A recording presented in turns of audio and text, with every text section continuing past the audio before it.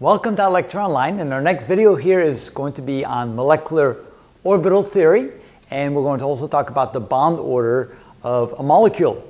So the molecular orbital theory says that as atoms come together to form molecules, their electrons will be used in bonding.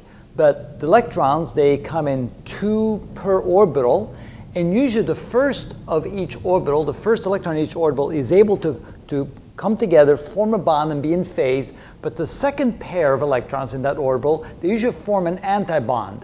And because of that, there is a repulsive force, and so there's a balancing of forces between the bonding and the antibonding of these electrons in these orbitals. So by using this clever little technique, we can say that we're bringing in electrons from the atoms that are involved here. In, in, this, uh, in this video, we're going to talk about lithium and beryllium. So we'll place atoms here in the s orbitals where they reside, and then when they form bonds, they either form sigma or pi bonds. In the case of the s orbitals here, they form sigma bonds, and either they form a bond or an antibond. The little asterisk there indicates that it's an antibond.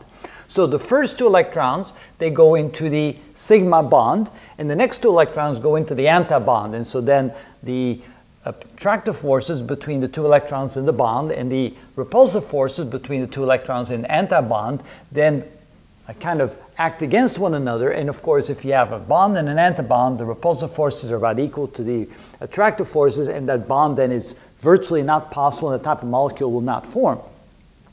But if there's more electrons in the bonds and less electrons in the antibonds, then the molecule can exist. In order to figure that out, we have this theory here, this equation that calculates the bond order, and it's simply the number of electrons involved in the bonds minus the number of electrons involved in the antibonds divided by 2. And if that number is 1 or greater, the molecule can pretty well exist. If the number is 0, then it's very unlikely that the molecule will exist. So let's try out for lithium and beryllium. If we use lithium, we know that there's two electrons in the 1s orbital and one electron in the 2s orbital. So that would be for the one atom. And then for the other atom, we have the two electrons in the 1s orbital and one electron in the 2s orbital. And so we're going to see if lithium 2, or a diatomic lithium uh, molecule, can indeed exist. Well, let's see here. We take the first two electrons, we place them in the bond, like so. Then we take the next two electrons and place them in the antibond. So at this point, they would negate each other, but we have a third set of electrons, which will end up in the sigma bond here for the 2s orbital.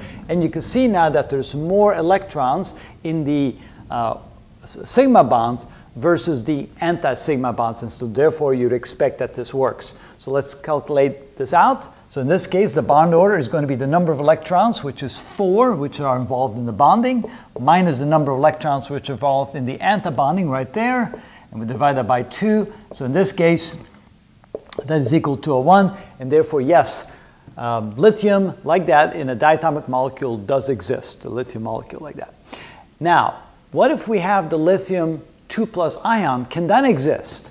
So the question would be now, if we have the lithium 2, 2 plus, is this a real thing? Can that really exist in nature? Well, if we take two electrons away, take these two electrons away, then these two electrons would disappear, and then we'd have the same number of electrons involved in bonding as antibonding, and then these repulsive forces would overwhelm the attractive forces, and know that molecule or that ion cannot exist, because in this case the bond order would be zero. Let me use a different color now and start talking about the next molecule, which is beryllium. So for beryllium, we're going to, and let's say that Let's see if there's a diatomic beryllium uh, molecule like that. Well, with beryllium, we have to add one more electron in the 2s orbital here and one more for the other beryllium. So we have this side for the one beryllium atom and that side for the other beryllium atom. When we do that, that means we have two more electrons trying to form a bond, but they go into a situation where there is uh, where the two are not in phase, so they, there's a destructive situation. They push each other apart, and they create